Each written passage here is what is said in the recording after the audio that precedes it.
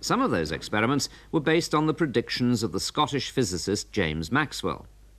In an historic set of equations, Maxwell had theorized that visible light was an electromagnetic disturbance with a specific wavelength, and that other electromagnetic waves existed as well.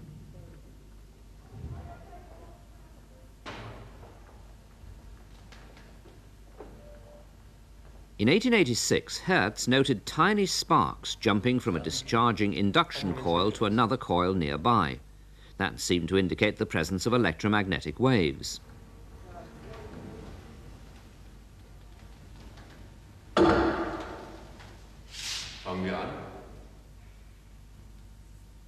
With his assistant, he set about systematically investigating the phenomenon and constructed an apparatus comprising a kind of transmitter on the left and a receiver on the right.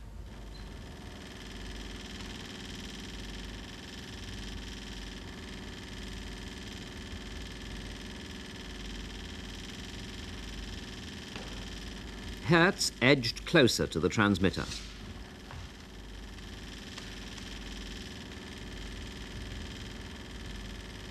At a distance of about two meters, sparks started to jump across the gap between the receiver's conductors. And Hertz was sure he knew why. The sparks were the result of invisible electromagnetic vibrations, which were radiating like waves through space and energizing the receiver. Helmholtz was the first to be informed of the sensational results. His comment, bravo.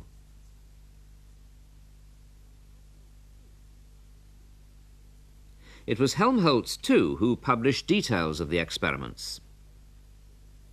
Hertz continued his research with patience and vigour. On one occasion, he wrote to his parents, I'm working like a factory hand, repeating every step a thousand times over. I spend hours on end drilling one hole after another. He sent regular progress reports to his father, who was by then a member of the Hamburg Senate. If it was true that electromagnetic disturbance took the form of a wave, it should also be susceptible to reflection and interference.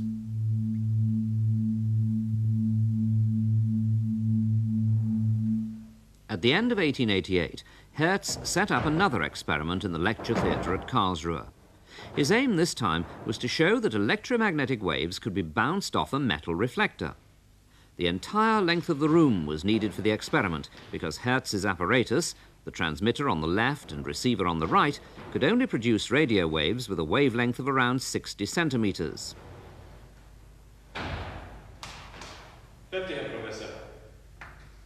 A sketch showing how the apparatus should be arranged in the room. Benches at the rear served as supports for the two-metre-high zinc reflector.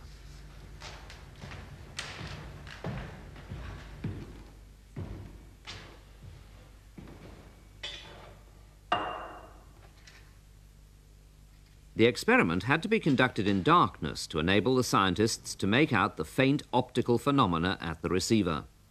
Sometimes Hertz and his assistant found it took hours for their eyes to adapt to the dark.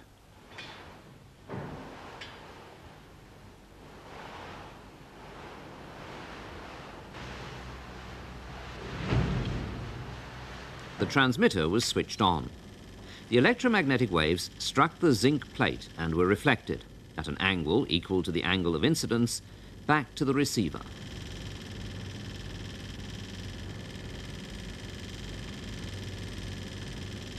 Then, Hertz's assistant stepped into the path of the beam. His body absorbed the waves and spark action at the receiver ceased. In this and later experiments, Hertz confirmed the characteristics of electromagnetic waves.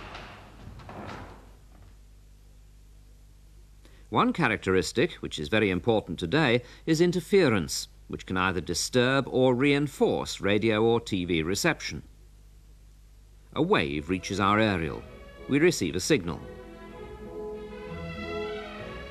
It's joined by another wave, an indirect or reflected wave perhaps.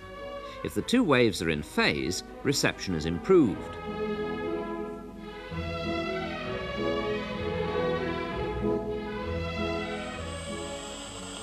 But if they're out of phase, they cancel each other out and reception is severely impaired.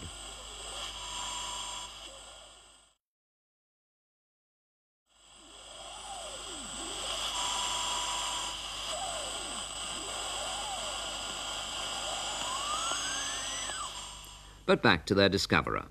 Now a scientist of international renown, Hertz moved in 1889 to Bonn University. Here he finished writing the scientific papers subsequently published under the title The Principles of Mechanics. Hertz himself, however, didn't live to see their publication in 1894. He died shortly before his 37th birthday of insidious septicemia. From his deathbed, he wrote to his parents, If anything should happen to me, do not mourn. Be proud and think of me as one of the chosen few who live but briefly, yet long enough. Science paid tribute to Hertz by naming the SI unit of frequency after him. One Hertz means one cycle per second. Ordinary alternating current from the mains has a frequency of 50 Hertz, which corresponds to a wavelength of 6,000 kilometers. Low frequency waves are 10 times shorter.